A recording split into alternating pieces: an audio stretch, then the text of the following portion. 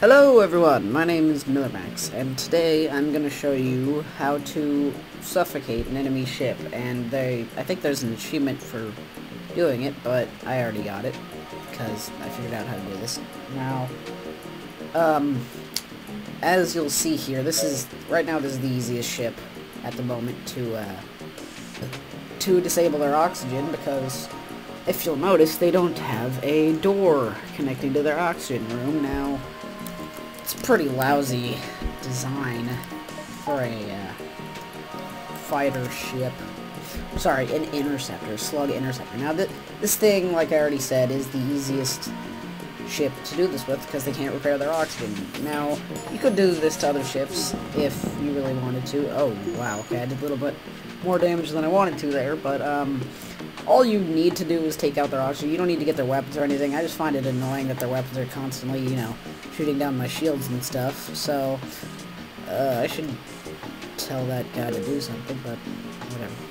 Now, I like to think of this hull up here as sort of ins insurance for... Oh, that was close.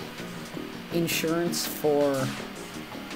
Um, for how much damage you can do to their ship, because, like I said, well, I didn't say this yet, but you don't want to actually destroy their ship. All you want to do is kill everybody on it, and you could do this with either fire or taking out their oxygen, or even a bio, anti-bio beam or something that will go around, or sorry, it's, it's one of these weapons down at the bottom that'll just, its main purpose is to kill people not to actually damage the ship, but um, this ship isn't too powerful.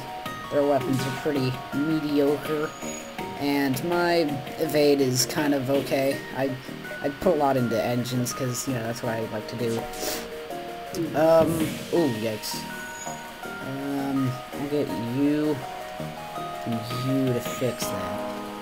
Now, yeah, there we go. Um, their ship now has no oxygen, and you probably know this from when there's a fire, like, oh, or like that. Not a fire, I mean a breach in the... Wait, what? No, I don't want you to go there. So, as you can see, they're, they have a rock man, so he'll last a little longer, but they will uh, slowly die, which is pretty sad. Uh, pretty depressing, but um, you get more... Uh, the advantage to this is that you get more scrap because it's not being blown apart and you'll probably get more fuel or rockets or drone parts or whatever.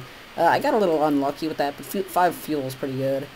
And uh, that's basically all there is to it. So, thanks for watching, and I'll see you all later.